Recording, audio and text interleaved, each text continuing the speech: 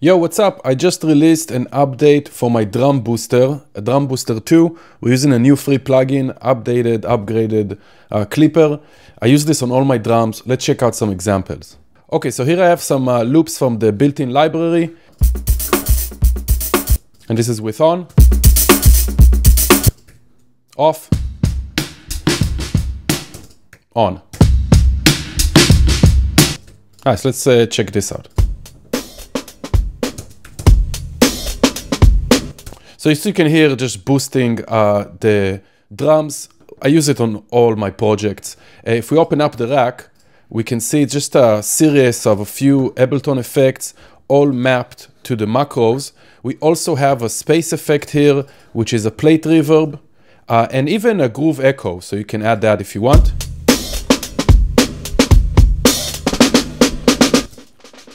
For some extra groove.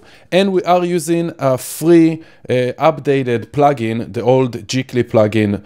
Uh, it's not available anymore for new computers. So we're using this clip shifter. This is free. You can download it. You can check out uh, more info uh, in the post on my website.